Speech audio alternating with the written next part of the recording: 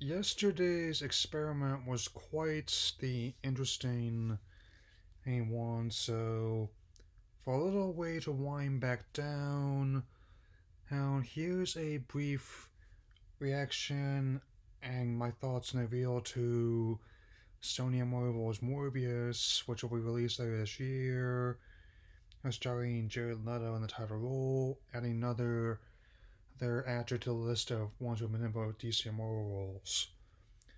Well, so the story is going to follow the title character after her being given a blood transfusion and vision to cure a degenerative illness he's had since he was a child, and which leads to becoming a vampirish as being known as Morbius, as and after her Venom, which despite being quickly reviled, audiences is much receptive to it, and since the film made over $800 million worldwide a sequel of its own coming out, is a second live action spin off in the up in the Spider Man universe that Sony has, although there are some elements that may suggest that they really want to make that crossover with the main films, which I wouldn't object to. But people wondering who would benefit more from this recent uh, deal that's been brokered uh, between Sony and Marvel. Oh, I suggested it may have been a mutually beneficial whole, whole one, and the reasoning for that is that there are some Easter eggs. The one that stood out the most to me, obviously, was the appearance of uh, Michael Keaton as his character as of Toomes, better known as the Vulture. I mean, since there's highly possibility that maybe connection may broken into prison, and also it's further compounds how Venom also set up probably the worst case secret of the movie that they're going to be setting up Cletus Kasady, aka Carnage, by Woody Harrelson,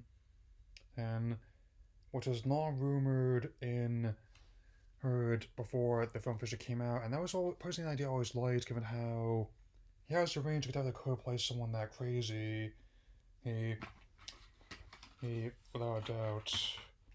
And be that as it may, hey, it's definitely a film that I'm not ruling out a possibility it might not work, but I'm very much open to the idea of of the movie being made, and most likely, if I get a chance to, I'll go see it. I mean, maybe not wait when it comes out, depending where I am in that July.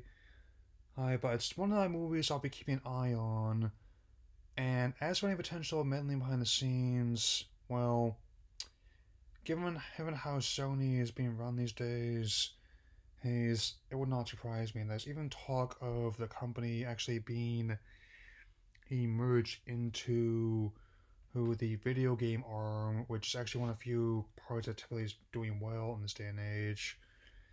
Age given the massive success of PS4 as well as the fact that they're again going to be sending E3 out, out in favor of having their own events.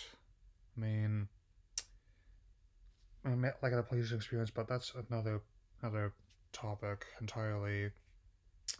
Hey, I mean, I'll admit both companies have done very interesting things with these series over the years, and supposing what happens, given how they have the rights to almost 700 characters from um, the entire franchise, I'll be interested to see what they might do, what this leads to storylines like Maximum Carnage or Secret Wars in the near future.